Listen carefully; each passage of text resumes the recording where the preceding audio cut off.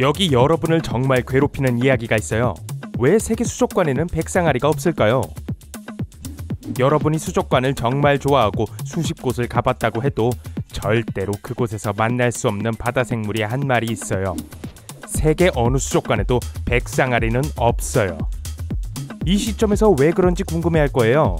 백상아리가 전시하기에 충분히 멋지지 않은가요? 이 동물들이 특별한 유리로 만들어진 두꺼운 벽 안에 갇혀 있을 때조차도 사람들은 공격당하는 걸 두려워하나요? 어, 꼭 그렇진 않아요. 우선 여러분 다른 상어종들과 구별할 수 있도록 백상아리가 어떻게 생겼는지 기억해 봅시다. 있잖아요. 혹시 마주칠까 봐요. 물론 대면하지 않았으면 좋겠어요. 왜냐하면 그러면 더 큰 보트가 필요할 테니까요. 이 거대한 물고기는 전 세계의 시원한 해안바다에서 찾아볼 수 있어요. 백상아리는 회색, 갈색 또는 거의 검은색일 수 있지만 아랫배는 늘 하얗기 때문에 이름이 거기서 유래한 거예요. 보통 약 4.5m 길이로 자라지만 이 종의 가장 큰 구성원들은 6m 길이만큼 클 수 있어요. 무게는 무려 3,175kg에 달할 수 있어요. 아주 강한 꼬리로 시속 56km의 최고 속도로 몸을 물속으로 밀고 나가요. 백상아리의 입은 놀라울 정도로 잘 갖추어져 있고 장식되어 있어요. 300개의 날카로운 이빨로 말이죠. 이 삼각형 모양의 이빨들은 6줄에서 때로는 7줄로 배열되어 있어요. 이 모든 이빨에 치실을 끼워야 하는 걸 상상해 보세요. 많은 사람들은 이 거대한 포식자들이 인간의 살을 먹고 사는 걸 좋아하고 그저 저 깊은 곳에 숨어 불운한 사람을 공격할 기회를 기다리고 있다고 생각해요. 놀랍게도 인간은 백상아리의 메뉴에 없어요. 일반적으로 1년에 10건 이상의 공격이 발생하지 않아요. 그리고 과학자들은 상어가 사람들을 잡아먹기 위해 사냥하지 않는다고 확신해요. 단지 호기심이 너무 많아서 약간의 물어볼 수 있는 샘플 그냥 지나칠 수 없던 거예요. 그 후 종종 헤엄쳐 가버리죠. 이제 상어 공격에 대해 훨씬 더 기분이 좋아졌을 거라고 확신하네요. 그렇죠? 어쨌든 만약 백상아리가 방문객들에게 주는 위험 때문에 수족관에 있지 않는 게 아니라면 그 이유는 뭔가요? 글쎄요, 사실 꽤 비극적인 거예요. 백상아리들은 잡혀 있는 걸 견디지 못하고 갇히게 되면 그냥 죽어버려요. 이 생물들을 가두려는 시도는 많이 있었어요.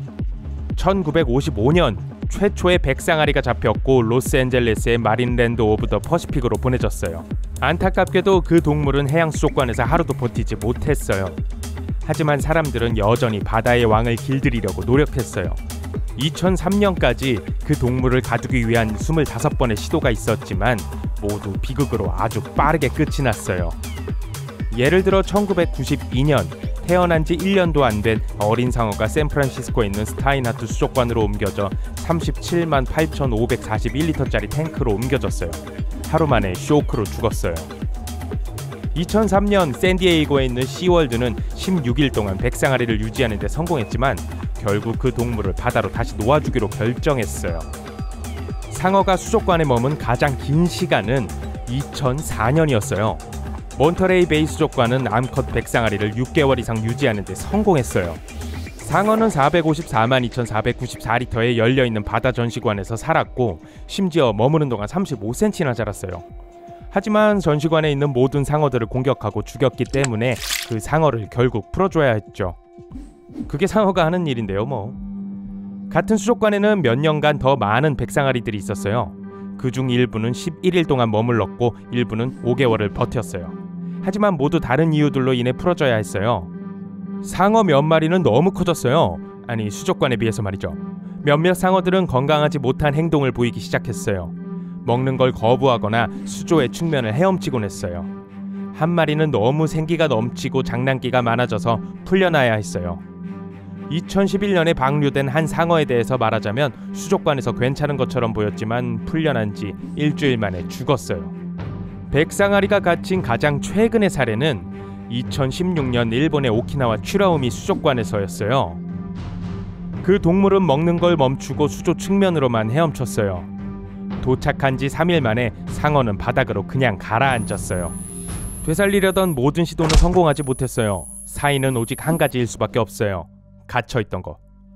그렇다면 뭐가 이 종을 하여금 친척들과는 다르게 가둬지는 걸로 많은 고통을 받게 하는 거죠? 과학자들은 아직 백상아리에 대해 잘 모르지만 몇 가지 이론을 생각해냈어요. 하나, 우울증. 백상아리들은 인간만큼 오래 살아요. 건강한 상어가 사육된 지 며칠 만에 죽어야 할 명확한 이유는 없어요. 그러므로 이유는 전적으로 심리적인 것 같아요. 믿거나 말거나 우울증과 쇼크는 이 강력한 생명체를 쓰러뜨릴 수 있어요. 둘, 부족한 공간.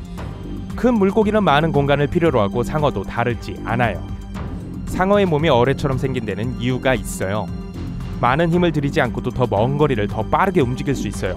사실 백상아리들은 호주에서 아프리카까지 단 99일 만에 11,104km를 여행할 수 있어요. 그리고 시간당 40km의 평균 속도로 움직이는데 그건 상어들이 물 밖으로 놀랍게도 7.6m나 튀어오를 수 있다는 걸 의미해요.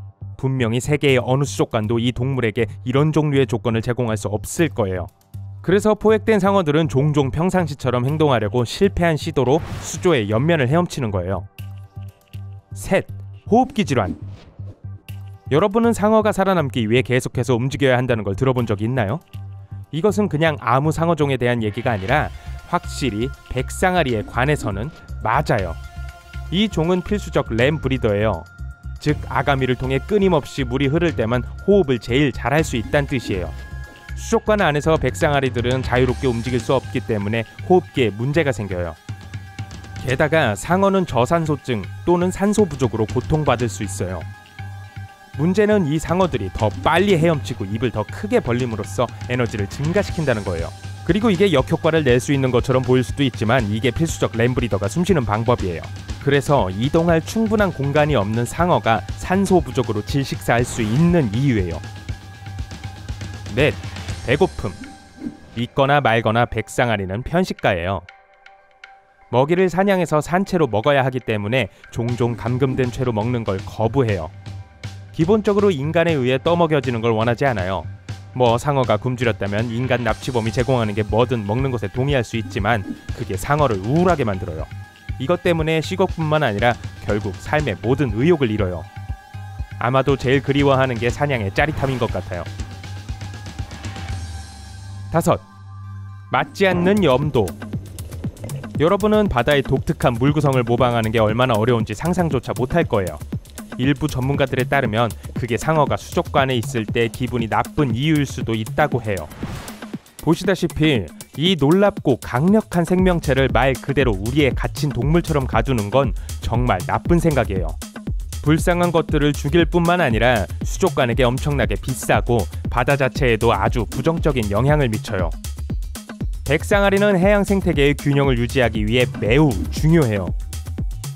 상어 한 마리를 잃는 건 전체 생태계를 위태롭게 해요.